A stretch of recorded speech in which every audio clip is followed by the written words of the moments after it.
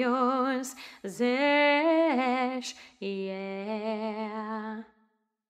One happy birthday dot com.